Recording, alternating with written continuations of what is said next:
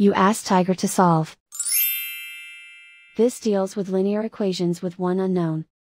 The final result is x equals 6. Let's solve it step by step. Simplify the expression. Group like terms. Simplify the arithmetic. Swap sides.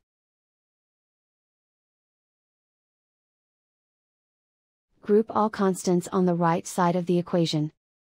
Subtract 3 from both sides. Simplify the arithmetic.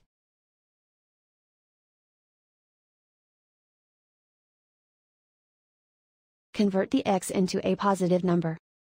Multiply both sides by negative 1. Remove the ones. Simplify the arithmetic. And so the final result is x equals 6.